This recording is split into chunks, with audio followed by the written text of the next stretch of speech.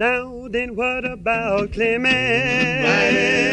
Well, what about Clement? He's a mighty man. I mean Frank Clement. Yes, He's a mighty, mighty, mighty, mighty man of God. Now then, what about Clement? Mighty man. Well, what about Clement? He's a mighty man. I mean Frank Clement.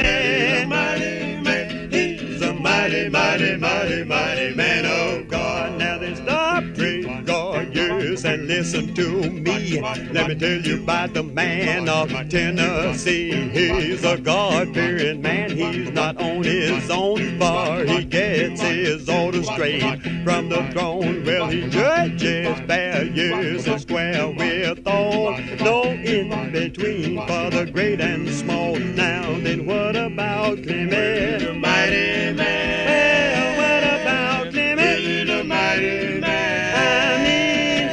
Frank He's a mighty man. He's a mighty, mighty, mighty, mighty man of God. Now the 1900, yes, it's 52. You know God told Clement just what to do. Well, he called him from Dickson County land, saying to go down to Nashville and make my stand. Well, you rule wise, yes, and have no fear.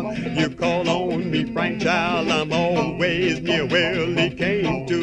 He made that stand. He found the state government in a mighty bad hand. Well, he got his broom, began to sweep. The big shots then began to weep. Well, he fired those shots, yes, and cautioned the small. United the rest, declared one for all. Now then, what about Clement?